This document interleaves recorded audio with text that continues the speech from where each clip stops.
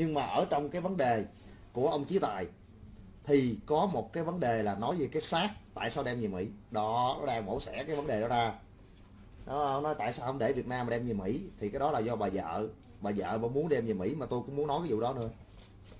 Cái vấn đề bà vợ không hiểu bà nghĩ sao bà muốn đem cái xác chồng về Mỹ. Cái vấn đề này tôi ngồi tôi suy nghĩ 5 phút hồi tôi cũng không hiểu nữa. Nó mà quỷ quyền trong Hoài Linh. Ông bé về thì, thì, thì, thì bay về mà là bà làm tự nhiên đá của anh khó qua cho Hoài Linh. Đúng không? Mà bạn phải biết á, là đem thi hài mà thi hài mà siêu quốc gia đó đâu phải dễ đâu bạn. Bảo đem cái thi hài từ ở ngoài à, miền Nam ra mà bắt tập kết bộ đội này nọ đó bị bị mất có đem cái đó mà cái đó phải là thi hài nữa mà cái đó là cái cái hài cốt. Nó nó khác. Chứ còn giờ đem thi hài siêu quốc gia đậu lên máy bay quá cảnh nước này nước kia nữa chua chết mẹ luôn mà dân thường chứ phải nguyên thủ đâu. Đúng không? Đó người ta mang qua Mỹ để tiện việc thờ cúng thôi mà. Thờ cúng cái bà mẹ mày ngu. Đâu mà tao đang đa mà đừng đúc cái đầu vô. Đúng không? Thờ cúng cái bà mẹ mày ngu. Ngu vừa thôi. Thứ nhất cái tư tưởng Mỹ nó phải khác. Đối với tao một người một xứ văn minh như Mỹ thì cái tư tưởng nó phải khác. Đó. thứ nhất á, là không có quan trọng cái thứ hai. Đúng không? Mấy cái người mà người mà sống theo tiến bộ không ai quan trọng cái thứ hai vậy ba ơi.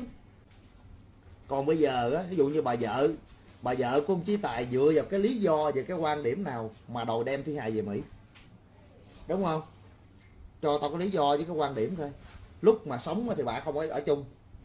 Đó ông này ở Việt Nam mà nhiều hơn với Mỹ mà. Nó lúc mà sống thì không ở chung. Già khú rồi sáu mấy tuổi rồi xa vợ. Mà không biết ừ, cái này chuyện vợ chồng người ta không muốn nói không biết cái chuyện hụt khắc hay không người ta không rõ. Nhưng mà tao chưa có hiểu được cái quan điểm tại sao bà vợ bà lại muốn đem cái thi hài về tất nhiên bà là vợ thì bà có quyền, và chết thì bà có quyền rồi. Nhưng mà cái quyền của bà đem ra, bà đặt vô, ông ông ông chí tài một cái cây rất khó để làm. Thủ tục nó ra làm sao? Có biết không? Đang dịch covid nè, máy bay nào nữa, rồi đưa đi đâu, đưa như thế nào? Nói chung vấn đề thủ tục và để làm được cái chuyện đó đâu có dễ. Nhưng mà bà vợ bà đưa ra một cái cây nó không có được cái ý nghĩa của mẹ vậy trơn mà nó khó làm. Vậy thôi, tao chỉ nói vậy đó cũng khó hiểu cho bà vợ của chí tài thì chuyện đơn giản không làm. Thì đó cái bà đó tao không biết bà là ai á. Tự nhiên giờ ông này chết tao mới biết bà là bà phương loan phượng loan gì đó. Thấy không? Một có thì về được thì về dễ được thôi. Ủy quyền cho ông nội hòa linh hòa linh đi anh làm cho anh làm cho cho cho chồng em cái đám ấm cúng này này nọ. Nếu sao này được cái anh mang anh mang uh, hài cốt của chồng em ở những cái hũ tro đó đi về đây cho em thăm viếng thôi rồi à, thôi thôi cái kèo đó khó lắm em cũng không có thương ổng tới cái độ đó đâu. Em thương ổng là em bay về mở với ổng mẹ rồi. Thôi giờ anh quăng ổng vô chùa luôn đi anh ơi. Xong em lâu lâu em về Việt Nam tới em cúng được rồi. Theo anh chí tài mất có tiếc nối không anh? Theo em vẫn còn bàng hoàng. Ồ em bị thương chí tài dưới bàng hoàng tới giờ luôn hả? Đi phúng điếu chưa? Ngày mai nè.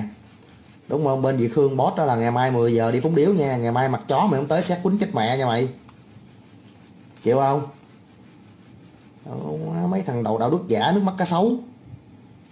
Đầu riêng mày á, mày còn bàn hoàng mà ngày mai mày không đớt cái gái mày vô mày phúng điếu á, ra đường xét quánh đùng trái thành cục than luôn, khỏi ngộ với trí tài luôn. Đăng status thăm dọ mai qua kiếm anh, nói chuyện vụ trí tài. Tự nhiên qua kiếm tao nói chuyện vụ trí tài á, qua kiếm tao thì alo đặt hẹn đây. Tự nhiên đi kiếm tao cái đặt tê tê, cái đăng tê tết nghe nó mắc cười ghê ủa sao kỳ vậy? Tự nhiên đi qua kiếm tao cái đăng tê tết trên nhà, tao không biết gì trơn trội vậy ba đúng không? Thì mẹ muốn kiếm tao thì qua đây đặt hẹn với nhân viên anh nè.